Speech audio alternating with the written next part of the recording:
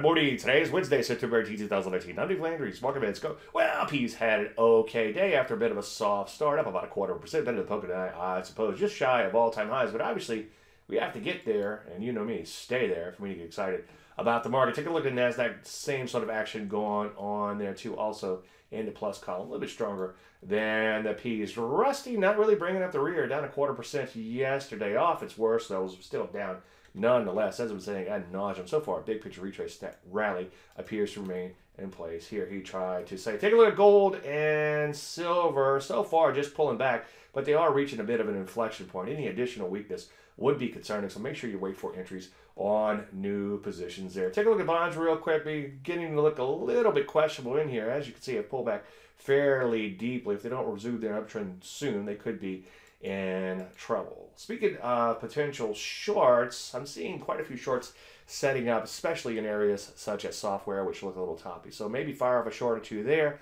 Maybe take a look at the golds, and then other than that, you might want to sit on your hands. Any questions? As usual, Dave, I'm Dave Landry, you sir.